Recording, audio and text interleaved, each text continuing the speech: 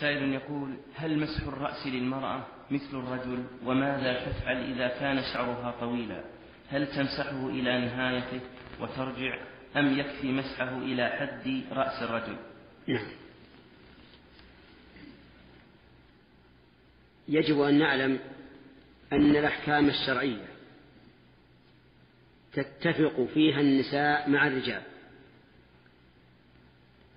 والرجال مع النساء. إلا ما قام الدليل على التفريق بينهما. وعلى هذا فالمرأة يشرع لها في مسح الرأس ما يشرع للرجل. فتضع يديها على مقدم الرأس ثم تردهما إلى قفاه ثم تردهما إلى المحل الذي بدأت منه كما يصنع الرجل. ولا يلزمها أن تمسح إلى أسفل الرأس. بل إنما تمسح إلى حد منابت الرأس. وكذلك الرجل لو كان له شعر طويل إلى الكتفين فإنه لا يلزمه أن يمسح إلا على قدر منابت الشعر فقط.